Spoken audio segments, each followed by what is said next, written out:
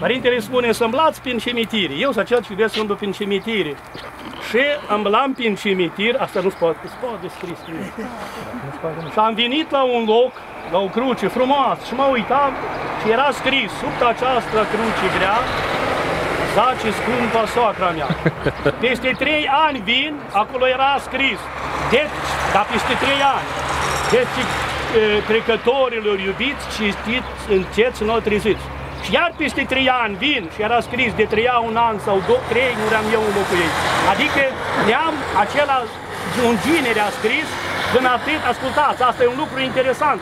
Era scris, adică că câmblau neamurile la mormânt. El a scris frumos. După aceea că au început să vină numai el la mormânt, el a adăugat câte ceva. Uh, Părintele Ioan frumos spune, dar mai bine radio de ascultat, pentru că sătul închis, da. Doamna profesoare de istorie, eu nu știu, ei Hana Petrivna, ori ei Ana lui Petru sau Iarna Petrovna, poftim. Dar tot noi știm foarte bine care ne spune istoria tatălui, că neamului. Gostiuc, Gostiuc, da. Ana Petrovna. Și toată viața îs Ana, îmi pare rău că scris Ganna, nu? Stimați oaspeți, stimați consacreni, într-adevăr, iată zilele acestea, de acum au devenit o bună tradiție să ne adunăm aici la acest monument din Buda, să-i comemorăm pe cei care au fost represați, care au fost luați de la noi din sat și duși în neagră străinătate și au murit univa și nu au nici morminte. La fel cum este bună tradiție că în februarie ne adunăm la crucile, la alea eroilor, tot același lucru. La fel a devenit tradiție că și în centrul satului, lângă biserica din satul Mahala, la fel, pe 22 mai, când tot au fost deportări de la noi din sat, tot am ieșit cu ei și am comemorat cu cei care au fost deportați. Satul nostru poate cel mai mult a avut de suferit din toată Bucovina. Satul nostru, într-adevăr, e un sat românesc vechi. E amintit pentru prima dată 1472. A fost făcut Danii de către Ștefan cel Mare, mănăstirii de la Putna.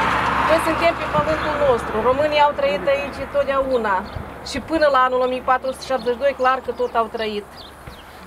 Dar în secolul 20, cu părere de rău, satul nostru a avut de suferit foarte mari perturbații în legătură cu ce că s-a schimbat situația politică, în legătură cu aceea că aceste pământuri au fost anexate de către Uniunea Sovietică și de aici și s-a început calvarul românilor din Bucovina. Satul nostru de trei ori a avut de suferit valuri de deportări, dar cei mai strașnici și cei mai masivi au avut loc anume pe data în noaptea de 12 spre 13 iunie 1941.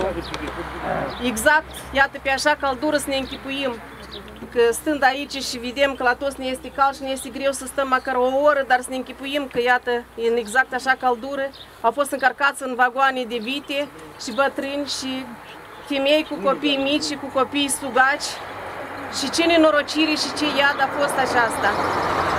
Deci, acolo erau repartizați bărbații, capii de familie, despărțiți de familie de o parte, persoanele tinere peste 18 ani de altă parte și a treia categorie, deci bătrânii, femeile cu copii mici, nu aveau niciun fel de condiții